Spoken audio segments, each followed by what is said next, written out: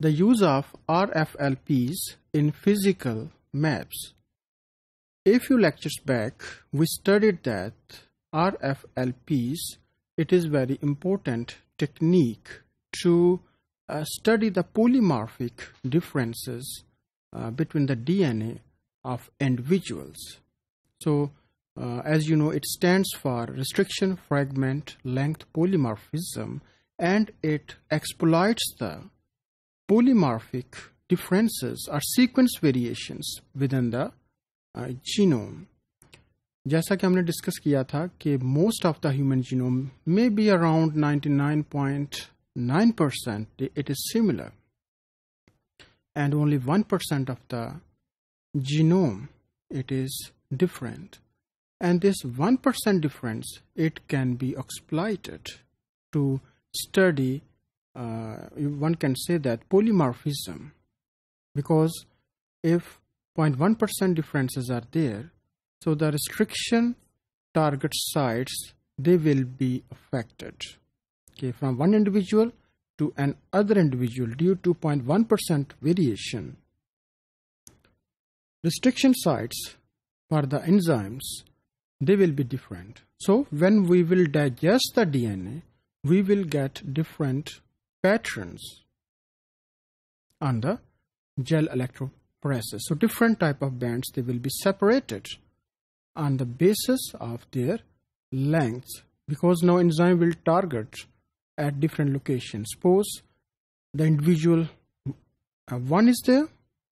and we have digested its uh, genomic DNA with EcoRI, it will give a different pattern and due to 0.1% if we will digest uh, individual जैसा कि मैंने बताया कि 0.1 percent difference होगा next individual के genome में तो उसका जो बैंडिंग पैटर्न है या फ्रेगमेंट की लेंथ जो है by using same restriction enzyme वो डिफरेंट आएगी। तो ये जो डिफरेंसेस हैं फ्रेगमेंट्स में हम ये रिजॉल्व कर सकते हैं by the gel electrophoresis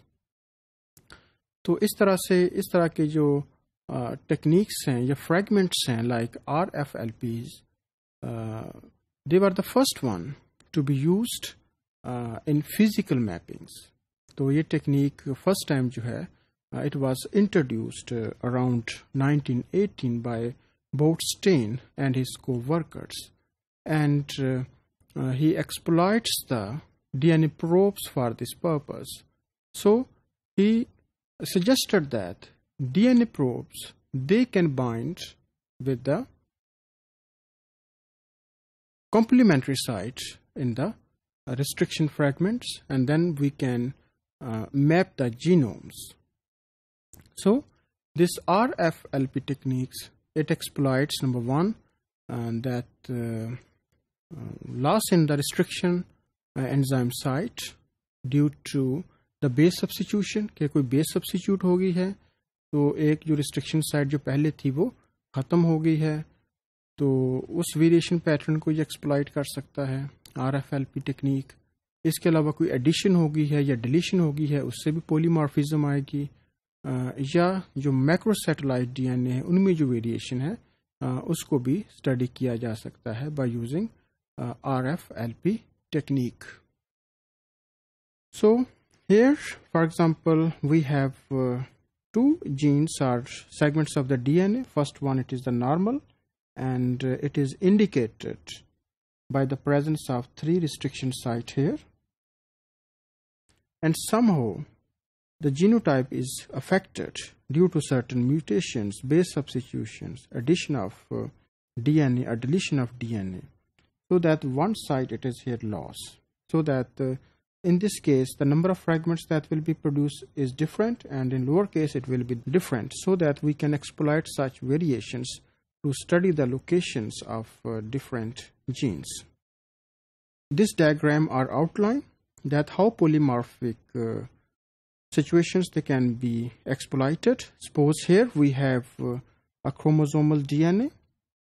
like here it is indicated as the suspect 1 here and then it is digested with restriction enzyme so that we have variety of fragments and then in the next diagram it is uh, mentioned here that uh, these fragments they can be uh, separated on the gel from different sources. Like uh, uh, I told you earlier that uh, this RFLPs it can be used to find some cases or witnesses in forensic biology where we can suspect the victims are certain criminals by studying or comparing their DNA binding patterns. So here this DNA fingerprinting technique uh, it has been used in forensic biology, but it is also a very important technique to study the pattern or arrangement of genes on the chromosome.